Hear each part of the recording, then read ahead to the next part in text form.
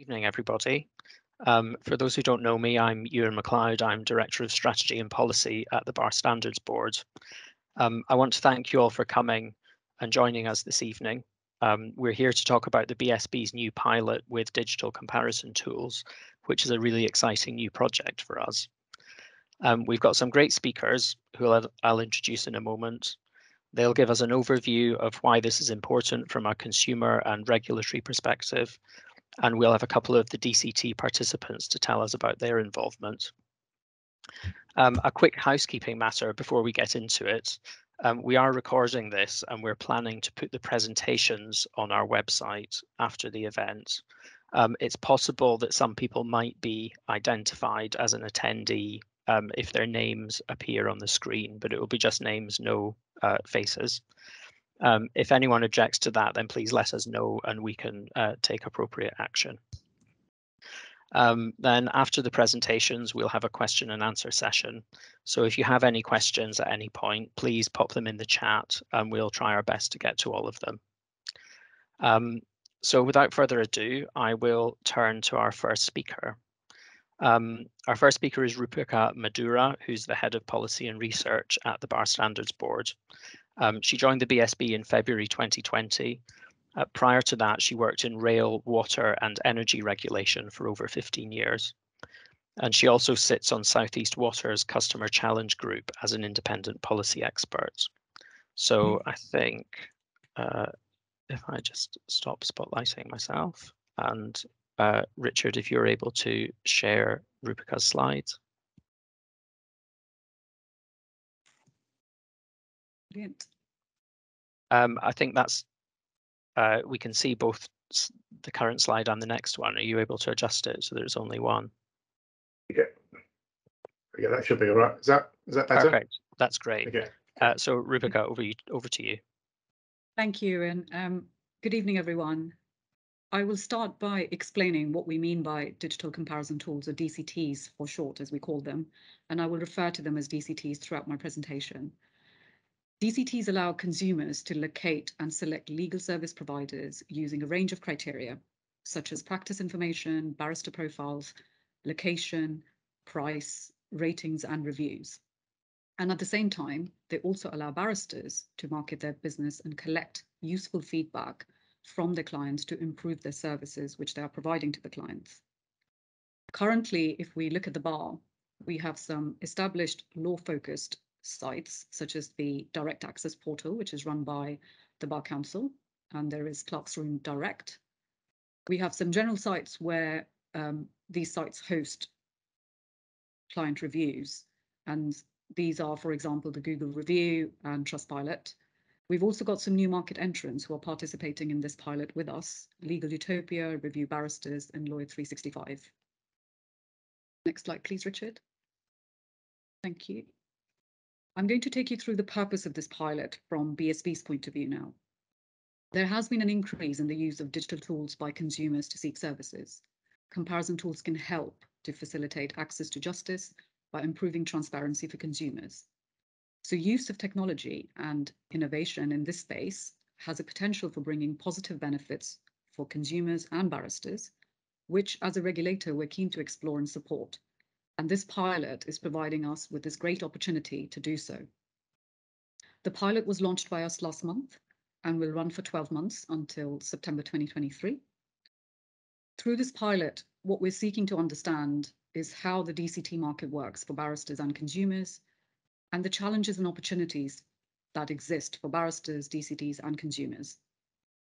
A similar pilot was uh, run by Solicitors Regulation Authority with Council for Licensed Conveyancers and CILEx, and we're building on that particular pilot. That pilot is at the evaluation stage, and the outcome of that should be made available soon by those regulators. Next slide, please, Richard. In terms of participants in this particular pilot, we have four DCTs who are currently taking part in this pilot with different business models. It's important to emphasize not all DCTs are about reviews and ratings. DCTs have signed up to a voluntary code of conduct which we've designed, and these this code of conduct covers issues such as complaints policies to tackle fake reviews. we welcome more DCTs to come forward and join this pilot over the course of next 12 months. Next slide, please, Richard. Um, we welcome both direct access and referred barristers to come forward and join the pilot. And in order to do so, they can register their interest at the email address, which is now being displayed on the screen. Um, what would be expected of you would be to sign up with one or more of the DCT participants in the pilot. We would also encourage you to leave reviews through your clients on the service you've provided to them and engage with those reviews which the clients have left on your service. For the purposes of evaluation study, we will also ask you some questions throughout the pilot at regular intervals to collect data. Finally, we will be sharing the results of the evaluation of this pilot once complete, and I'm excited to see what will be revealed about this market in due course. Thank you very much, Ewen. Back to you. That's great. Thanks very much. So I'll move on now to our next speaker, who is uh, Robin Geddes, who's a regulatory policy manager at the Legal Services Board. Um, Robin is the LSB's policy lead for market transparency and consumer engagement and is undertaking policy development work into signals of quality for consumers. He's also engaged in research into consumer perceptions of how lawyers' competence is assessed. So, Robin, over to you. Thanks, Ewen, and thanks to um, the BSB for inviting me to join this panel. Um, so, for those of you who don't know, the Legal Services Board is the oversight regulator in legal services. So, we oversee the work of the BSB and the other frontline regulators, the Solicitors Regulation Authority, and so on, um, to ensure they uphold the regulatory objectives, but and one of those is to act in the consumer interest. So I will give a bit of background as to um, as to this work and explain what's going on elsewhere in the sector. So we at the LSB and the regulators have found, you know, long-standing issues in legal services that it's very difficult for consumers, prospective clients, to identify the right um, legal services provider to suit their legal needs when they have an issue that needs to be resolved. Um, and there's obviously a variety of reasons why that's the case. You know, legal services are complex. They're not kind of regular purchases for most consumers. Um, they're often sought at a time of difficulty or distress. And I understand this pilot focuses on employment law. Um, so that's a good example. Um, but it's also due to a lack of information, you know, being available to help inform consumers when they are looking for that provider at the point of need. So the Competition and Markets Authority conducted a study uh, of the legal services market in 2016 and a follow-up review in 2020, and in both cases found that the market isn't working well for consumers um, and made various recommendations and said that um, consumers need better information about price, service, quality of legal services providers to help inform their choice and enable them to um, shop around and choose and choose the right provider for them. So, as I say, the CMA made recommendations to the regulators, including the BSB, on how to improve things for consumers. Um, and since 2020, the Legal Services Board has been responsible for kind of monitoring progress on these issues. Um, we published a statement of policy earlier this year, which sort of sets expectations uh, of the BSB and the other regulators as to what they should be doing uh, to what we're calling empowering consumers to make the right choice. And I think we are seeing positive signs. Um, We've seen the BSB's latest transparency findings published in July, uh, which show you know increases in compliance with transparency rules, but also more clients are getting that information they need on service and price, um, which should be resulting in you know better informed prospective clients, um, which we think are you know good outcomes. Uh, and this is something that's happening across the sector. You'll hear from the Legal Services Consumer Panel shortly, but the data from their latest tracker survey earlier this year shows, you know, increased levels of shopping around um, and consumers having information about providers uh, across the legal services sector. So focusing on the DCT pilot specifically, one of the things that we at the LSB have said is we want to see consumers not just getting that information, but being able to more easily compare providers. And at the moment, we see digital comparison tools and review sites as one of the main tools for allowing those comparisons. We've you know been monitoring the DCT market for the last couple of years uh, closely, and we've worked with Legal Utopia and Trustpilot uh, in recent times, and have seen growth among use of legal. Uh, sorry, have seen growth uh, in DCT usage for legal services specifically uh, in those last couple of years. Um, and so we're pleased to see the BSB launching this pilot. We think this is a good opportunity to um, explore whether DCTs are suitable um, among the barrister community and for users of barrister services. Uh, as Rupika mentioned, there was a similar initiative led by some of the other regulators looking into DCTs. They'll be publishing their um, their pilot findings soon. Um, the early signs are again positive. Um, you know, uh, consumers and DCTs alike finding benefits in increased use in legal services. Um, and pleased to hear that BSB will be building on that work. Um, so that's the wider context. We think it's a good initiative and hopefully one that the regulated community embraces. Uh, for those of you interested in the Legal Services Board's work, uh, would encourage you to go to the LSB website after this, where you can see our policy statements and find out more about our wider work on uh, transparency and uh, empowering consumers. Thanks.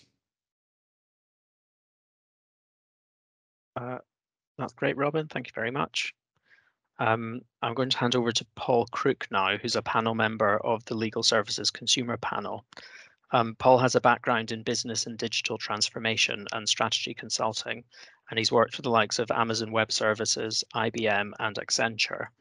Um, he's also worked with consumer panels at the Consumers Association and has extensive professional experience advising on customer services. So I'll just spotlight you, Paul, and hand over to you. Thank you very much, Ewen, and um, thank you to Robin for uh, that uh, excellent introduction of what uh, the Legal Services Consumer Panel does.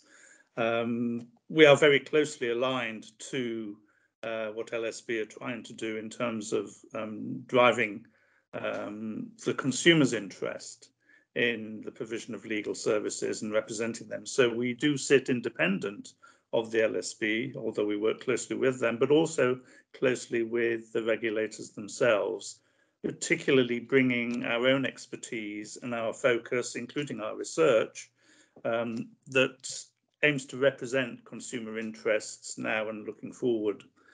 Um, as, as, as, Robin said, we have seen progress. Um, from a consumer's perspective, and I would um, encourage people to look at our tracker survey, which has been running for uh, over a decade now and gives us consistent information on consumers' perception of legal services, um, which obviously includes services provided by all legal services providers.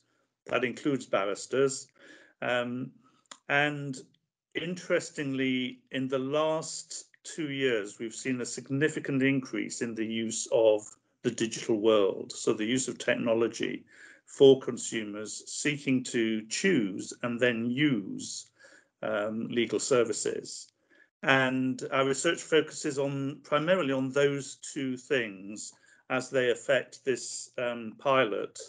Um, we too have, you know, welcome this pilot and think the timing is is very good indeed, given we've seen an uptick in the use of um, you know, digital-based services, use of technology, um, we've also seen a significant increase in the correlation between how much consumers feel they've been able to choose, you know, that they've been able to make a choice, um, so have had enough information to shop around, and their ultimate satisfaction with that services provider. Um, so that tells us that if you enable consumers to choose, you encourage a more positive collaboration with your customer. Um, so it is a good thing.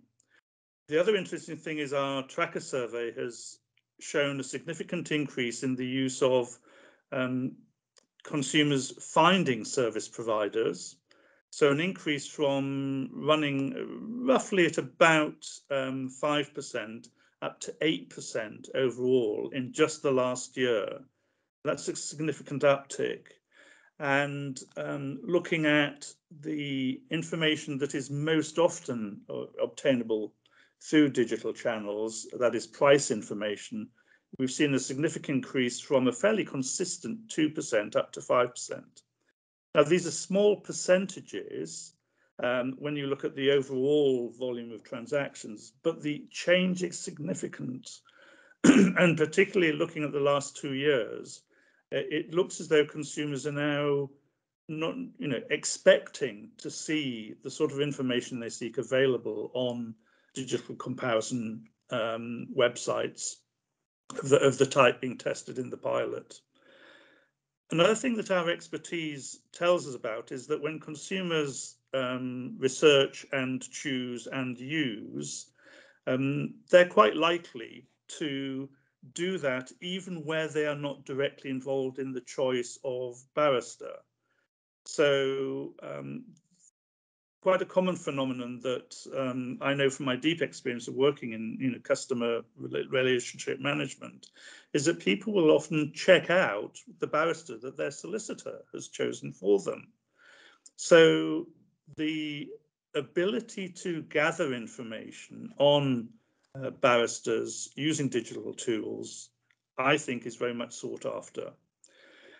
The other uh, phenomenon that we think is very important in this is the availability of information and the use of DTCs encourages that. It encourages consistency in format because sites that allow you to compare easily help to drive that standardization, which makes it easier for consumers to choose.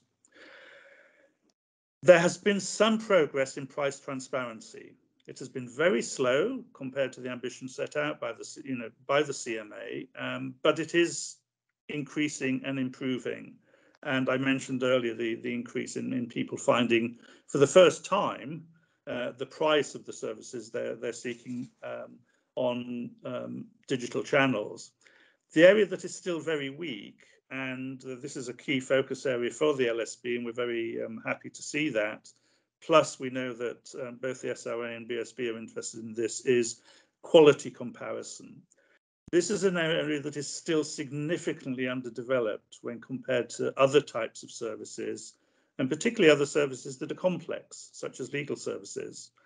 So I think there's a lot of work to be done there, but we do believe that the use of DCTs could encourage that work to accelerate, uh, and we would certainly welcome that. So the pilot will bring a number of significant advantages.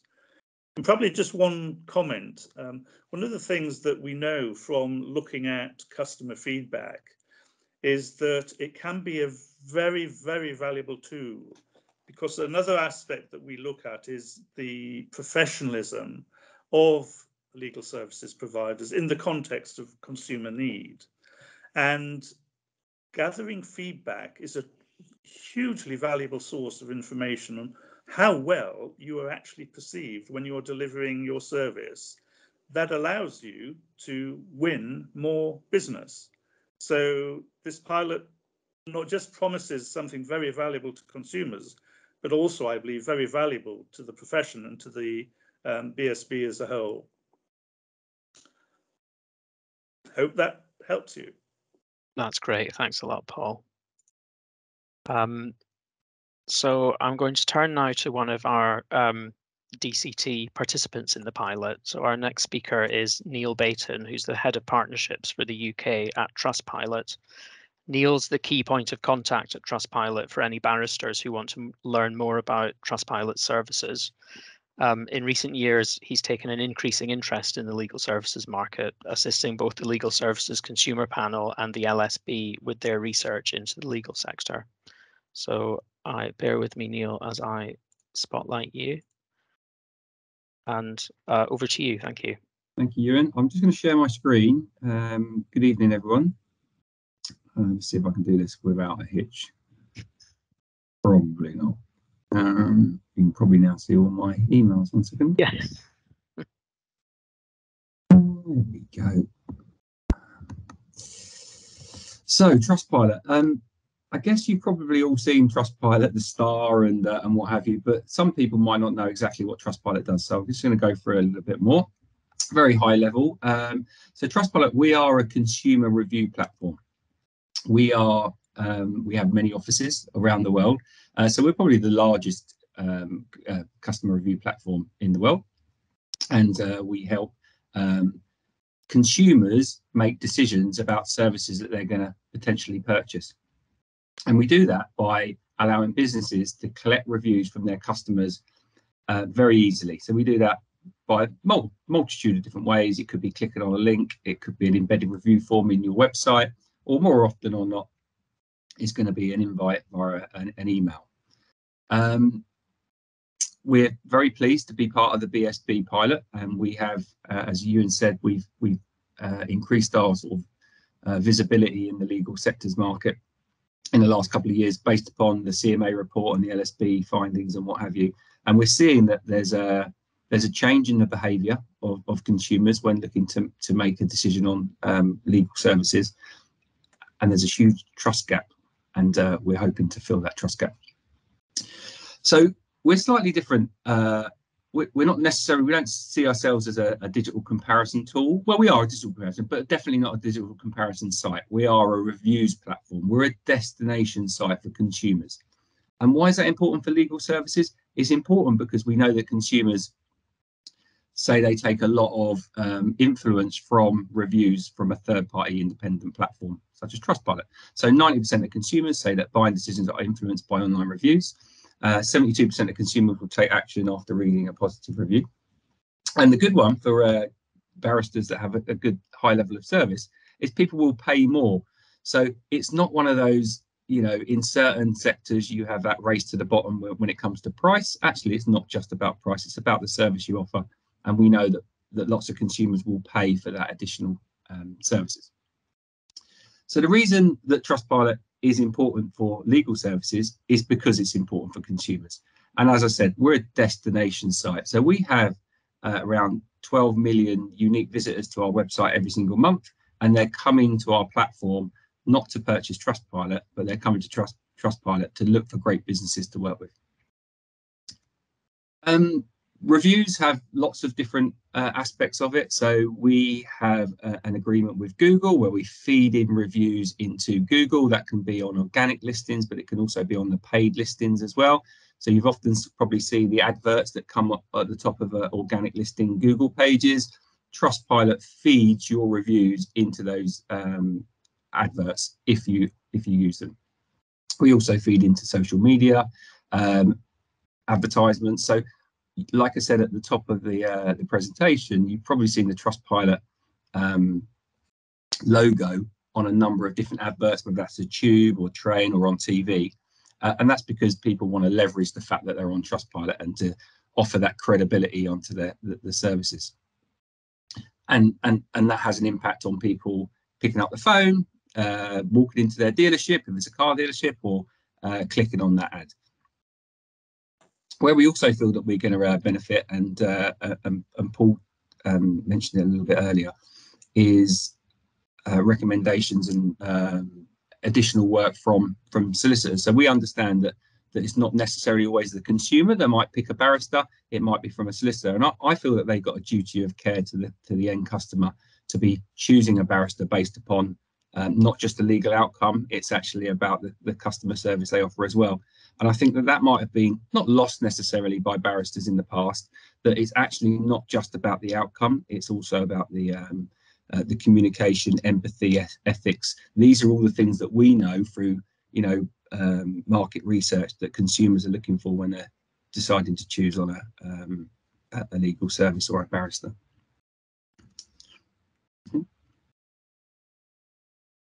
Just want to talk about a little bit the, the nuts and bolts of Trustpilot. Like I say, we are a destination site. On the left-hand side, you'll see our um, our categories page. So this is where consumers can come uh, to Trustpilot to decide on a barrister, and you might want to decide on how many reviews they've got or actually their score.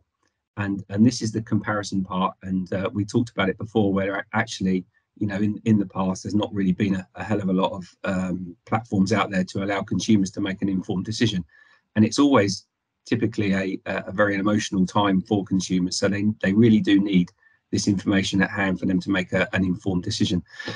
At the, at the moment, excuse me, we've only got 15 barristers on the Trustpilot platform. However, we're getting 4,000 uh, views every single day. So those 15 barristers are, are collecting a lot of reviews um, per day from consumers looking for barristers. On the right hand side, you'll see a profile page and this is where um, barristers and solicitors and legal firms can put a little bit of information about where they can find them, um, opening times, um, locations, whatever it might be. But then this profile page has all of their reviews, and this is the good, the bad, and the indifferent. And this is this is where consumers can make a decision based upon their their um, their customer service. I mentioned a little bit earlier about how many visitors we get. So we're about the 25th most visited website in the UK. And the reason that's important is because that Google then gives us lots of um, Google juice. I don't know if that's the right word. I've used it many, many times. But but but what that means is every single profile page on Trustpilot is very well ranked for certain um, search terms. So it could be, you know, King and Co. Um, reviews, or Can I Trust Irwin Mitchell, or whatever it might be, and that has a significant impact on your reputation being found on Google. And we know that that customer journey is changing um, uh, quickly, very quickly. And that's it. I thought I had another slide, but obviously not. But um, you can come to Trustpilot to find out more information, and obviously we can be contacted through um, the BSB pilot as well. That's great. Thanks a lot, Neil. Um, and I'm getting a bit of feedback at the moment. I hope everyone else isn't hearing that as well. But um, our next speaker is um, Paresh Kathrani, who's the Chief Executive Officer of Legal Utopia. Um, Paresh joined the Legal Utopia in October 2021, initially as Interim Chief Data Officer and latterly as the company's CEO. He formerly worked as a senior lecturer in law at the University of Westminster, where he specialised in legal tech research. Paresh is also a strategic advisor on legal tech to the Legal Technology and Innovation Institute in London and the Mykolas Romeris University in Lithuania. So over to you, Paresh. Thank you very much, Ewen. I'll just share some slides. Um, okay. Right, I don't think I can share my slides. Okay. Can you see my screen? Yes. Brilliant stuff. Okay, excellent. Okay, I think you can see my slides. Uh, we can see the slides. It's not started as a slideshow yet. There it is. We've got it now. Brilliant stuff. Well, thank you very much, Ewen, for that very kind introduction. And thank you very much to the BSB um, for the opportunity to participate in this much needed um, pilot on DCTs. Uh, my name is Dr. Paresh Kathrani. I'm CEO at Legal Utopia and pleasure to be presenting to you today. I'll begin by saying a few words about who we are. So Legal Utopia, the company was founded back in 2017 to reconceptualize the provision and access of law and legal services for new technologies. Uh, uh, one project that we worked on back in 2017, which I'll expand upon in this presentation, was the development of an algorithm, um, a natural language processing um, engine, by which people can type in their, their legal problems into our engine and the, the, machine is intelligent enough to triage what their problem is and help them understand what their problem is. And that the algorithm is programmed to uh, be able to answer up to 400,000 uh, problems that people may, may encounter. Um, so we've been in the innovations in the law tech space since 2017, um, innovating and developing technology. And this informs our vision, which is a world where people everywhere feel empowered by technology to access law and lawyers. I'd like to expand a bit, a bit more on what we mean by empowered there because it's relevant to, to my presentation today and to the pilot as well. So we, we have a, a very um, a very specific definition of, of empowered within our vision, which rests upon public legal education. We believe that now, given the way in which people are accessing information, making informed choices, how habits are changing, that this can also apply to the law and that people are now accessing uh, legal information online, of course, and it's therefore important to provide them with that information to enable them to make informed choices. And that uh, is, of course, a very is a key pillar of public legal education. So what we mean by empowered is the provision of information to the public to enable them to make choices. And the way in which we do that is through our technology stack. And there I put an image of our technology stack, which um, essentially is um, our mobile application, which can be downloaded from the App Store, and also our web browser as well, uh, our web browser, which I'll go through in a few moments. What that provides is an infosphere to the public. Um, for example, our mobile app uh, is free of charge. It provides an infosphere to the public to enable them to make choices about what lawyers uh, they should go to in order to um, access legal services. So that's a, an image of our ecosystem. Um, empowered means PLE, public legal education, delivered through our technology and information therein to enable people to make choices, and, and that cycle goes round as they feel more empowered. We've heard it mentioned today that um, the uh, Legal Services Consumer Panel did a uh, released this tracker back in um, July 2022. 20, uh, and uh, a quote in there is that more consumers are shopping around this year, 43% compared to 30% in 2021, with legal service providers providing more information online to make this easier. So uh, there is evidence to, to, of course, show that people are now doing more online shopping, and that ties into our, our model, which is to provide them with more information. So how do we do this? I'll, I'll mention this in a, in a, few words. So um, our platform is uh, essentially a multi-sided platform. On the one side, we have an artificial intelligence engine, which you will have heard me mention before, called Legal Checker AI, available on the mobile, uh, via mobile app on the App Store. And in, in uh, developing that AI, we analyzed more than 100,000 cases to look at the way in which people articulate their legal problems. So, for example, one person might say that my neighbor's playing loud music, one person might say that my neighbor's keeping me awake, another person might say that my neighbor's causing a racket, for example. But the ultimate endpoint would be uh, a, a, maybe a tort case in, in, in, nuisance. So we looked at more than 100,000 cases uh, to examine the way in which people articulate their problems and built Legal Checker AI, which uses natural language processing to help them with their legal problems. Uses machine learning technology to classify descriptions of, of legal problems. It's a 24-7 um, service. And it incorporates a simple legal aid checker to enable them to see whether their, their, their, their issue is um, eligible potentially for legal aid. So on the one side of our platform, we are multi, being multi-sided, we have the AI, which um, helps consumers understand what their legal problems are. Once that information has been provided to them, then on the other side of the platform, we have find a, law, find a lawyer and book a lawyer services, which then gives them the option based upon their problem to uh, find and access lawyers. So we have a geo map which um, enables them to uh, pinpoint or find uh, local uh, solicitors and barristers. And that's available on our mobile app and web service. So they can access lawyers' profiles with enhanced um, information. Um, if lawyers choose to do so, they can um, synchronize their calendars to our, our website so that um, clients can book appointments. And they can also synchronize their, their Zoom um, Zoom links as well, uh, Zoom platforms as well, so they can hold uh, video calls via securely via our platform. So that's the multi-sided platform, and we're also exploring other services to co uh, complement that, such as marketing support, um, fin litigation finance, and providing space as well. So that's a couple of images of our technology. On the on the left hand side, you have our legal checker AI available on, on a mobile app, and on the on the right hand side, you have our um, our comparison site, which is available via our website, so people can book appointments with find and book appointments with lawyers. The last couple of slides, I'll just talk you through our tech stack, our tech ecosystem. So uh, we have a mobile app, as I mentioned before, available on the App Store, where if lawyers have synchronized their calendars, then clients can book um, an appointment directly into their calendar, and that goes through to the lawyer. Um, they're notified, um, etc. Also, our mobile app also has Legal Checker AI.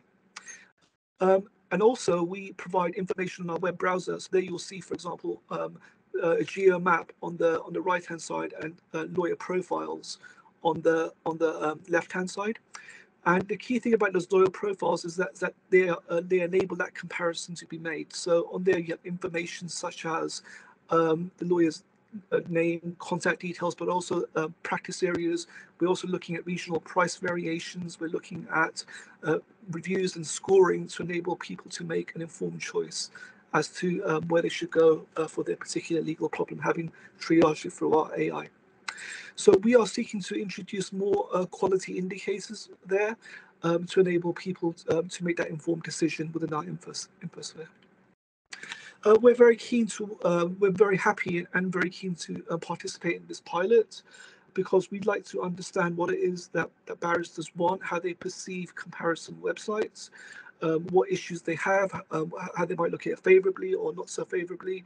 So having that dialogue and that conversation with barristers so we can understand their needs and wants and of course understand consumers' needs and wants and marry that all up within our ecosystem is very important to us and that's why we're, we're very grateful for the opportunity to participate in this pilot.